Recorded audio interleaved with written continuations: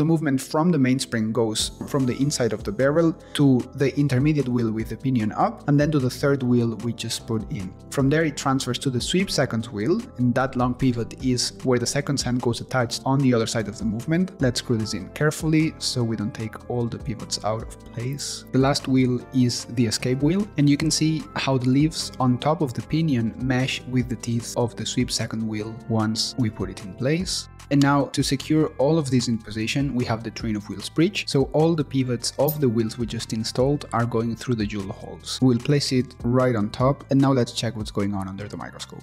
Okay, the intermediate wheel pivot is in place. The third wheel pivot is in place, sweep second wheel pivot is in place as well, but the escape wheel pivot is not. So with the thinnest tweezers I have, let's try to grab that pivot and place it right underneath the wheel. Okay, great. Final check. There you go. Perfect.